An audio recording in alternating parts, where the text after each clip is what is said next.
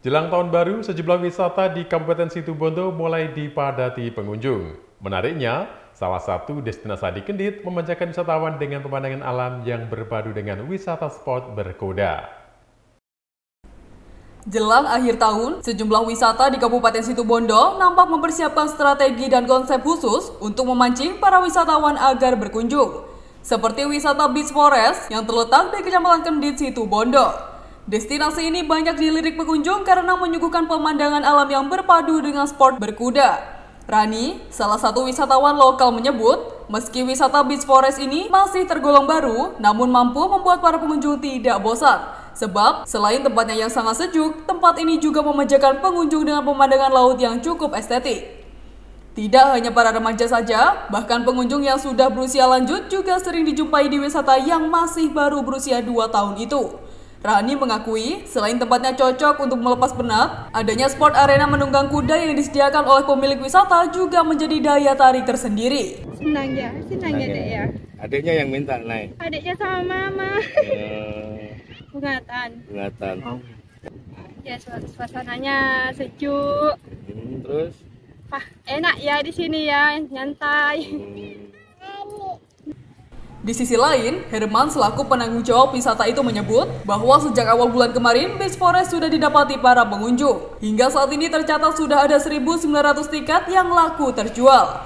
Selain secara manual, pihak wisata juga membuka penjualan tiket secara online sebagai antisipasi membludaknya pengunjung di saat tahun baru mendatang.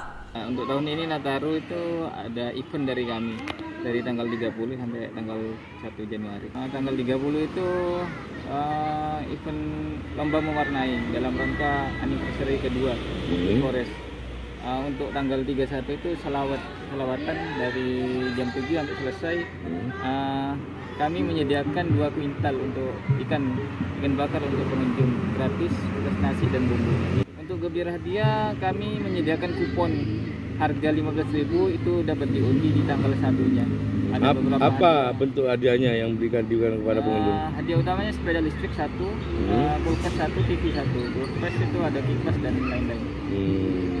Nataru ini ah, banyak sekali yang kami tawarkan dari untuk groundnya, untuk beberapa spot-spot fotonya, ah, atau snorkelingnya yang begitu indah di wisata Batu. Untuk anak-anak lebih ke wisata mandinya, ada perahu kano dan pedal.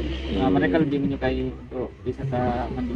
Ah, untuk kuda semua umur, dari yang kecil sampai dewasa, tapi rata-rata yang paling peminatnya paling banyak anak-anak. Ah, pengunjung ah, naik signifikan per ah, sekarang per tanggal 17 itu sudah 1900 orang. Herman menambahkan, pada malam tahun baru dan saat awal tahun nanti, pihaknya juga memberikan door prize dari lomba yang diselenggarakan berupa bagi-bagi ikan laut untuk para pengunjung. Dari Situbondo, Jawa Timur, Hairul Rahman, National TV melaporkan.